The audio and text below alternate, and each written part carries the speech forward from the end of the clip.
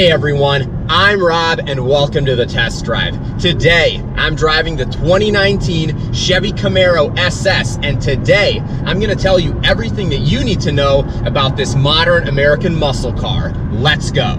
Now, for those of you who have been following my channel for a while, or maybe have looked at some past videos, you may know that last year I actually drove the 2018 Chevy Camaro LT, and that had the 3.6 liter V6. And while that was a very fun car to drive, and I really enjoyed it, this SS with the 6.2 liter V8 is on a whole nother level. So I am so excited to share this experience with you today. So we're gonna start with the exterior of the 2019 Camaro SS. I've seen a couple things in the news recently where people aren't necessarily thrilled with the front end of the 2019 Camaro and that Chevy or GM may actually be refreshing it sooner than anticipated. Now for me, I really like the look of this Camaro. I love the look from the front. It is so aggressive. The front bumper is very aggressive. I love how small and wedged in the headlights are as well as the hood vent. Love the look of that in this SS. The side profile is very aggressive as well. You have some very big 20 inch rims. These are the standard rims, 245s up front, 275s in the rear. So you have some pretty wide tires, but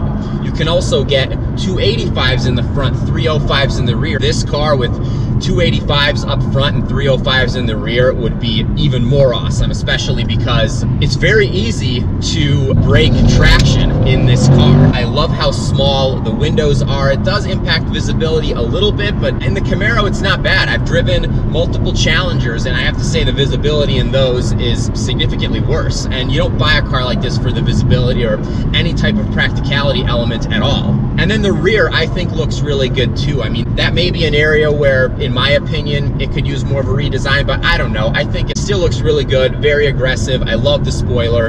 And in terms of the rims, I would probably want to get some black rims or some darker rims in this Camaro. I think it just would look better, but I like the exterior paint color. This is the red hot paint color. And overall, I think this Camaro looks awesome. Now, apart from the engine, when you get to the interior, that's probably where I'm most impressed with this Camaro. Now, there are two different trim levels. You have the 1SS and the 2SS. The one that I'm driving is the 2SS, so it is a higher level Camaro SS, and you do get so much in the interior. I love the quality of the leather in this 2SS. It's so soft.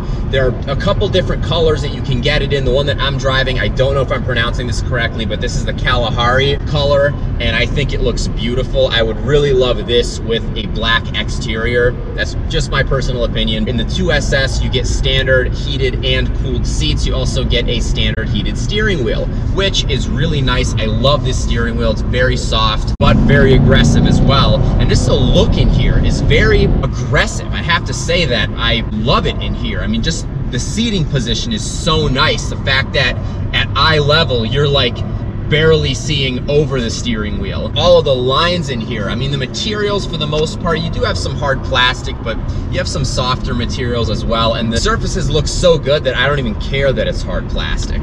The driver and front passenger have plenty of room. Now the rear seats, while you do have them, are very small, basically no leg room. Having four adults in this car for the most part is probably very unrealistic, but it's nice that you could put kids back there. I think you wouldn't have too much of an issue with that. I love the controls in here as well, especially the vents and the 2018 Camaro with the V6 that I drove had these as well, but you actually turn the outside of the vent to change the temperature. And this is a very comfortable car to be in on a long trip. I have to say that had zero comfort issues. Absolutely awesome to drive this for a very long period of time. However, as good as the interior of this Camaro is, my number one favorite aspect of this car is, of course, the performance. Under the hood of this Camaro is a 6.2 liter V8 that puts out 455 horsepower and 455 pound-feet of torque. There are essentially four different engine options for the Camaro. You have a base 2 liter turbocharged four cylinder that is okay, in my opinion. I, I, haven't driven it, but I know people that own them. Then there's a 3.6 liter naturally aspirated V6 that I have driven, which is a fun engine. I mean, puts out over 300 horsepower, and there's certainly nothing wrong with it. But then you have the 6.2 liter V8 that is in the Camaro SS, and then you have the 6.2 liter supercharged V8 which is essentially this same engine but supercharged and that puts out 650 horsepower 650 pound-feet of torque and that is in the Camaro ZL1 which is an absolute beast but for this Camaro the SS where it is in terms of price and just competition and everything, this is a phenomenal engine and it makes this car so much fun to drive. Now the Camaro is of course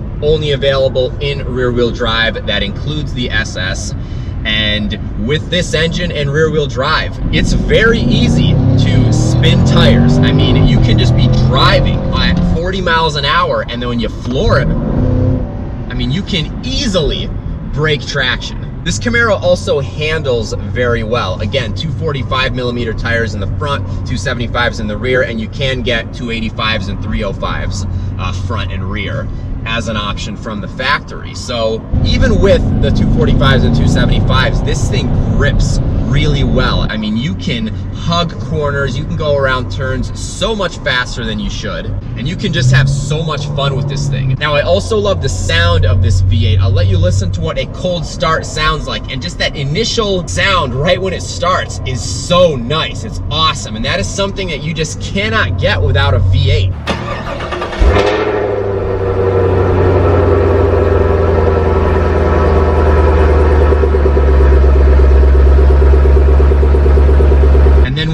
floor it. I mean, you just want to floor this car anytime you get a chance.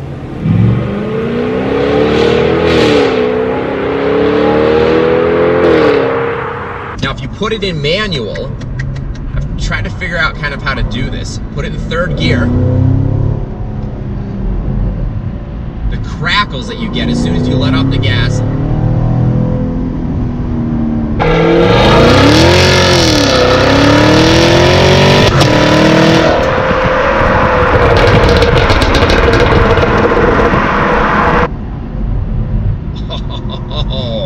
this exhaust is really nice and this is not an upgraded exhaust. You can get a higher end exhaust from the factory that gives you quad uh, tailpipes and uh, gives you a probably better sound. I haven't heard it, but even this base exhaust, I guess if that's what you want to call it, is awesome. Now you do have two different transmission options with the Camaro SS. You have the 10 speed automatic, that GM and Ford co-developed and it's interesting to kind of see where they put this transmission. But you do have the 10-speed as an option that's in the Camaro that I'm driving and then you also have a 6-speed manual. And if I was buying this car, honestly, I would be buying the 6-speed manual. The 10-speed is nice it actually shifts very quickly. I mean, the paddles are very responsive. I want to say they're like almost instant. I mean, if you haven't driven a car with absolutely pure instant shifts,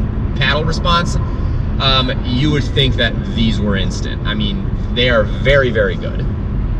And paired with the 10 speed, I mean, it has no issue dropping down gears. It's just a lot of gears, but you get better fuel economy. So in my opinion, I, I don't see anything wrong with, with the 10 speed. There's some people that just really don't like it. A feature that I love that this car doesn't have is auto start stop.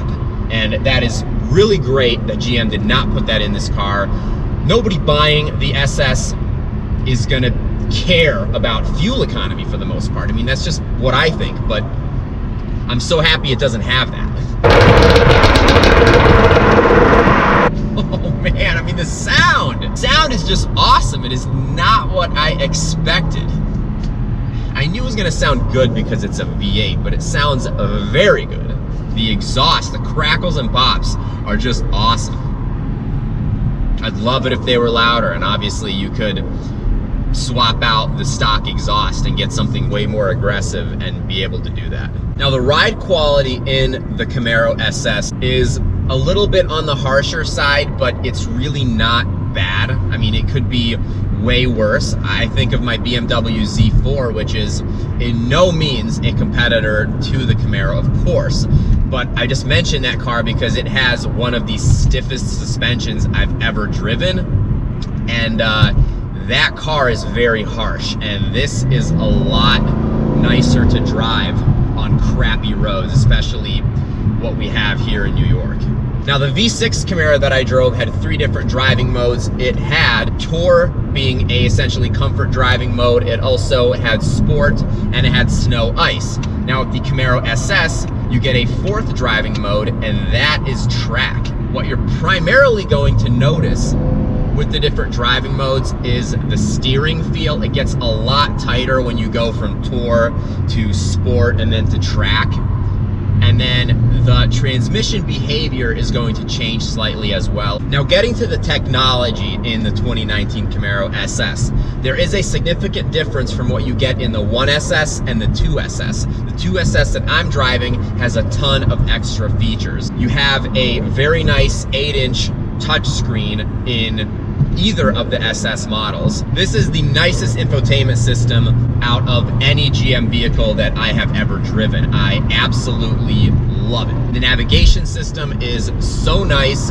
You also have Apple CarPlay and Android Auto. You also get a bunch of safety features standard in the 2SS. You get blind spot monitoring, you get forward collision detection, and you can set the sensitivity of that or turn it off completely. And then you also get a very nice backup camera with the cross traffic alert, which is also very nice if you're pulling out of a spot and maybe can't really see cars that are coming left and right. It does a great job of alerting you to that.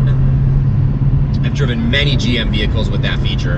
And then I love the large electronic display in between the tachometer and the speedometer. And you can change the look of this. It gives you a ton of vehicle information. So I really like that as well. The 2SS also gives you this heads up display, which is really nice. And it's also configurable. So you can also get radio or navigation information as well as this long left to right tachometer, which is really cool. So I hope you enjoyed this review of the 2019 Camaro SS.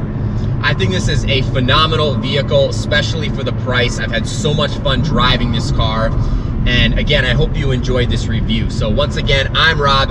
This is the test drive. If you like this video, please give it a thumbs up. Please leave me a comment. Let me know what you think about the video and this car and what this competes against. And please consider subscribing to my channel if you'd like. It does help me make more videos. Also makes you eligible for all the giveaways that we have had going on and I will be announcing one again very, very soon. I've been talking about that for a while, so I definitely am. I'm just kind of narrowing down a couple things. Uh, so I will be releasing that here very shortly.